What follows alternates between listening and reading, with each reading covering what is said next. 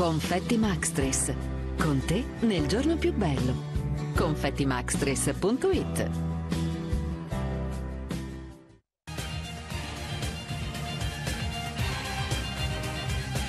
Centinaia e centinaia di provini, 32 sono rimasti e inseguono il sogno di avere la loro occasione. Benvenuti alla prima puntata di Dammi un'occasione! Ed eccoli i magnifici 5 che sceglieranno i 10 che continueranno questa avventura. Con Marco Calone, Nancy Coppola, Stefania Lai, Giudia Attanasio, Enrico Femiano e poi c'ho il mio amico di sempre, Fabio Brescia, speaker radiofonico.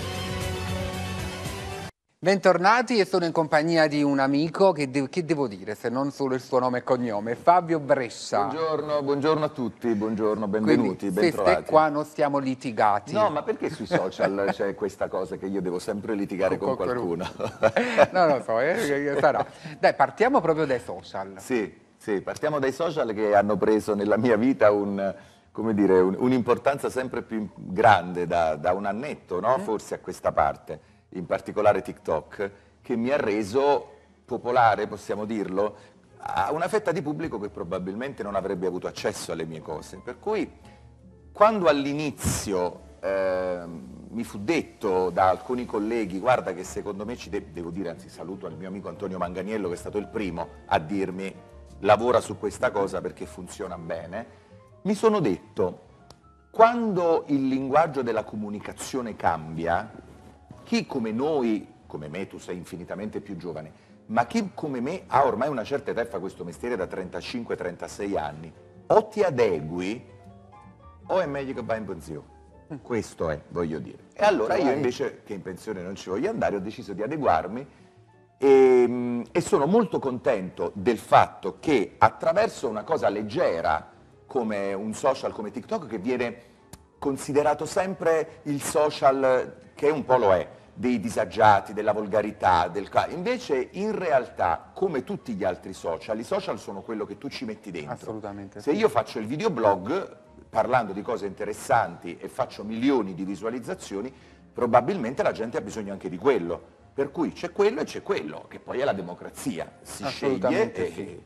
Però è pur vero, uh, c'è anche il rovescio della medaglia, no? tu sei uh, uno speaker radiofonico, conduttore televisivo, attore teatrale, io vengo a teatro, mi guardo una cosa, mi sono piaciuti, non mi sono piaciuti, se non mi sono piaciuti al 90% me lo tengo per me, certo. su TikTok o su Instagram la cosa ti viene praticamente, scusate il termine, sputata in faccia, no? nel senso che... Il problema, l'altro grande problema a cui ti riferivi tu dei social è che hanno creato un equivoco eh. di base, il fatto che la propria opinione sia fondamentale per il prossimo bisognerebbe uscire da questo equivoco. Della nostra opinione personale al resto del mondo non importa assolutamente nulla. Per cui tante volte, per stile, per buon gusto, per buona educazione, sarebbe bene tenerla per noi. Ehm, allora uno dice, ma allora tu vuoi solamente eh, complimenti sotto ai post?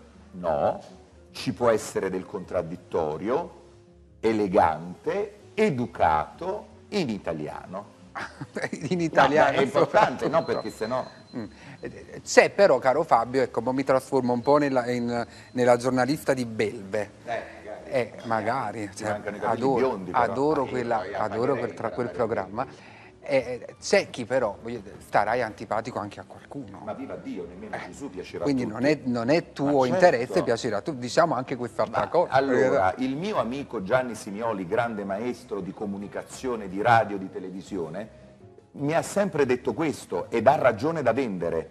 È, il, dire, è, è la divisione che crea l'hype. Mm. L'hype sarebbe il gradimento. Eh, I numeri che si fanno sui social, in televisione, personaggio ha tanta hype quando è molto seguito. È la divisione che crea l'hype, il contraddittorio che crea l'hype. Se piace a tutti significa che c'è un problema. Però la critica non ti arriva al cuore a volte, non ti dà uh, totalmente... ti può dare anche fastidio, uno cioè, si può anche dispiacere di una, una critica che... Guarda, qualche volta sì, però io ho l'abitudine di cancellare e bloccare. Per cui non, eh, poi me la scordo, dopo tre minuti me la scordo. Un po' Qualche come volta anche nella vita di fronte ad un cancello evento e blocco. triste. Sì, sì, sì, è una mia abitudine, cancello e blocco. Vedi, quindi alla fine eh, siamo sempre, importante essere sempre coerenti. Coerenti, esattamente. Detto ciò però, che cosa avviene? Che tu su Radio Marte torni in sì. pianta stabile alle 16 portando un format che fa molto riferimento a ciò che accade. Ma perché Gianni Signoli, che è il direttore di Radio Marte, eh, artistico, mi ha detto proprio questo. Mi ha detto quando io, eh, dire, ero in scadenza di contratto con l'emittente, con Kiss Kiss Napoli, ehm, ci siamo sentiti e lui mi disse mi interessa molto il tuo nuovo percorso social, il tuo nuovo linguaggio social, vorrei portarlo nella radio per fare qualcosa di nuovo.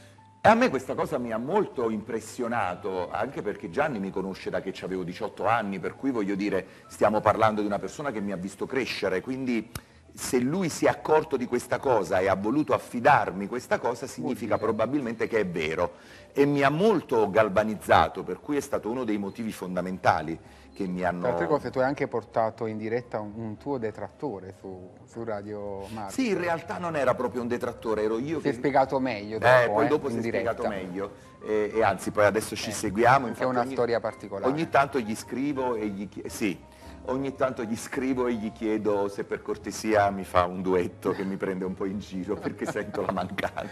No, che poi alla fine è anche divertente. Moltissimo, Quindi, quando è fatto con buon gusto, eh, moltissimo. Radio ore 16 tutti i giorni su Radio Marte. Però c'è anche il teatro. Sì, noi abbiamo debuttato la scorsa settimana, saremo in scena ancora domani sera, sabato e domenica eh, e poi ancora la settimana seguente al Teatro Bracco di Napoli. È, è l'anno dei ritorni, mm. è l'anno dei nuovi inizi. Ecco. Okay? Il, il, nuovo inizio teatrale è il nuovo inizio con il Teatro Bracco, con cui ho lavorato tantissimi anni, eh, con Caterina De Santis, Corrado Taranto, una bravissima Taila Orefice, il maestro Torregrossa, Rino e Mattia Grillo. È una, uno spettacolo che mette insieme una serie di cose molto belle ed è un inno al ritorno al teatro, infatti si intitola Bentornati al teatro. O la locandina, se la, sì. la facciamo vedere, Teatro Bracco, quindi uh, domani eh, siamo ancora in scena domani, sabato e domenica e il prossimo weekend, ancora per due settimane. La settimana scorsa ne abbiamo fatte quattro. Nella locandina in realtà hanno messo la foto della mia prima comunione. Eh, ho notato, ti devo dire, ho notato. Vedi, però... cioè, là, eh, uscivo dalla cresima quando ho fatto quella fotografia, sarà una fotografia di 30 anni fa. Vabbè, è vero anche che è stato preparato tutto molto velocemente perché è uno spettacolo fuori abbonamento e, e non era previsto, quindi insomma è stata fatta tutta una roba molto veloce. E poi succede che Gigi D'Alessio mm. ti manda un messaggio. Sì. Allora, in Quest'anno c'è un Fabio Brescia in, in pieno allora, in realtà nasce, nasce, diversamente, cioè nasce così. C'è una canzone che Arisa canta Bellissima. a Sanremo, della quale io sono pazzo e innamorato, che è Potevi fare di più. Canzone che non ha avuto, secondo me, il successo che meritava, anche radiofonicamente parlando. Un, una sera Sentendo questa canzone la canticchio in napoletano e penso, ma sai che c'è? Proprio giusta. Cerco la base su YouTube, nella tonalità di Arisa, quindi la canto un'ottava sotto evidentemente, metto la base nelle casse, il telefonino poggiato nel mm. portaoggetti della porta a fianco e mentre guido, quindi seduto in macchina con la cintura di sicurezza, senza il diaframma, senza la voce, insomma, la butto via, così la canto tutta pare che è diventata virale su TikTok, tipo 2 milioni di visualizzazioni in pochissimo tempo. Mi chiama un produttore, mhm. Giuseppe Michelino, che ringrazio e che saluto, che mi ha messo tutta la sua arte e amicizia a disposizione, e mi fa, ma perché non la incidiamo? Eh? Capi cioè, da un gioco. Oh, capito? Allora chiamo Gigi D'Alessio a quel punto perché dico, eh, se dobbiamo fare una roba, dico Gigi, guarda che io te la mando se tu mi dai il bene palacet e lui mi manda un messaggio.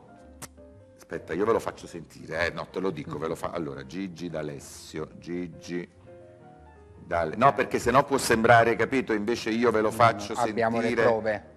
Allora Caro Gigi, mi sono permesso di tradurre questa canzone in napoletano, non è la mia tonalità e sto guidando ci sono tante imperfezioni ma ho la faccia tosta e te la mando lo stesso. Un produttore mi ha contattato per inciderla, che cosa ne dici? Allora, Avvicina il microfono. aspetta che...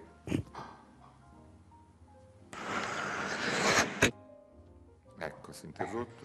E questo secondo me è un mio capolavoro, devo dire la verità, è uno dei, dei capolavori che ho scritto. E Taciaceta, pure napoletana è bella. Bravo, bravo Fabio, bravo. Sono orgoglioso di te. E, e questo è stato l'incoraggiamento. Poi gli ho riscritto, eh, quando l'avevamo, gli ho mandato la versione definitiva e dico la, poss- la possiamo caricare sugli store, puoi fare quello che vuoi, sei il padrone. Con un bel cuore. Con, ma un- con dei cuori blu, con dei cuori blu. Gigi è sempre attento a quello che accade qui. Sì. E ne hai fatto anche un video. Sì, che esce domani in anteprima, eh, esce domani su YouTube, ma ho voluto regalare l'anteprima. l'abbiamo prima noi. a- a- a l'una mattina. Grazie Fabio per essere stato qui con Ma me. grazie a voi. torna, noi abbiamo dei, dei talk interessantissimi, Ci sarò, spero di, ci sarò. di- di vederti presto e noi salutiamo Fabio con questo splendido eh, video e ci vediamo poi domani mattina all'una mattina. Quindi putivo fai chiù, Putivo fai più. putivo fai chiù, ma la lingua napoletana, guarda. Eh, è una lingua, appunto, hai detto tutto. Grazie Fabio per questo regalo, prego.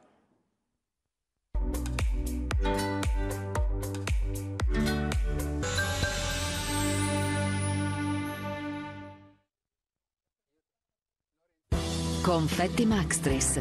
Con te nel giorno più bello. Confettimaxtris.it